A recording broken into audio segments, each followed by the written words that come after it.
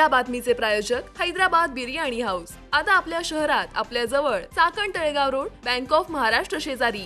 खेड तालुक्यातील पश्चिम पट्ट्यात जोरदार पावसामुळे शेतकऱ्यांच्या पिकांचं आणि शेताचं मोठ्या प्रमाणात नुकसान झालंय. अशातच तालुक्यातील नायफड गावातील एका तरुणानं गावातील ग्रामसेवक यांना फोन करून मॅडम आमच्या इकडे पण खूप नुकसान झालंय त्याचा पंचनामा केला गेलेला नाहीये. आमचा आदिवासी भाग असल्यानं तुम्ही आमच्याकडे लक्ष द्या असं सांगितलं. तर त्यावर ग्रामसेविकेनं त्या तरुणाचा बापच काढल्यानं तालुक्यातील अधिकारी यांची मगरुरी किती वाढली आहे हे दिसून येत आहे नक्की या ऑडिओ क्लिपमध्ये काय बोलणं झालंय ते ऐकूयात. वरून शरद शरद ठोकळ बोलतोय मी. बोला ना. ऐका ना माझा पण बांध गेलाय पण माझ्याकडे कोणीच आलं नाही. पप्पाला फोन कर. ऐका ना फोन ऐका ना तु- तुम्हाला सांगतो हे आदिवासी गाव इथं जरा लक्ष द्या तुम्ही नाही का? कोण? तुम्ही. काय म्हटलं? आदिवासी गाव इथं जरा लक्ष द्या नाही का? सामान्य लोकांचा प्रश्न पडवा. मग मी माझं काम करतच आहे तुम्ही कशी जावताय मला ते?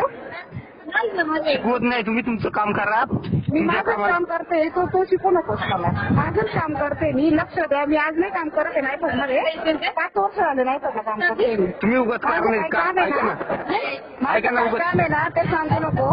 ऐका ना उगाच. उगाच ऐका अरे तू जी भाषा वापरू नका कारण देऊ नका तुम्ही. काम नीट करा. ते तू नको शिकू मला. तू बाप नाही लागून गेला माझा.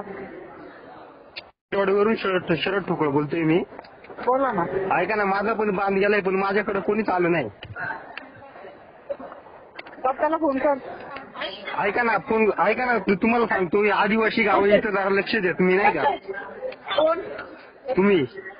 काय म्हटलं? आदिवासी गाव इथं जरा लक्ष द्या नाही का? सामान्य लोकांचा प्रश्न पडवा. मग मी माझं काम करतच आहे. तुम्ही कशी जावताय मला ते?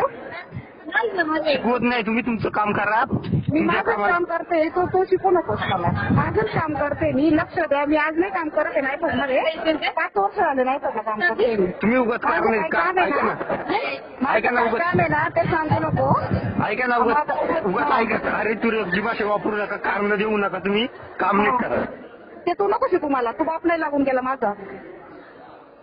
या मगरूर ग्रामसेविकेवर आता वरिष्ठ काय कारवाई करणार हे पाहावं लागेल. न्यूज फिफ्टीन मराठीसाठी आशिष टके पाटील खेड पुणे.